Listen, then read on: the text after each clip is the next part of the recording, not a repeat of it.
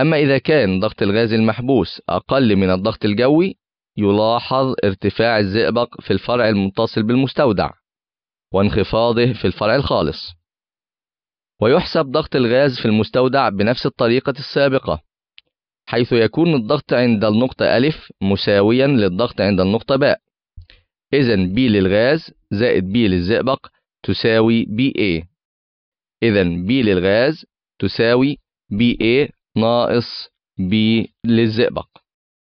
إذا B للغاز تساوي BA ناقص رو للزئبق HG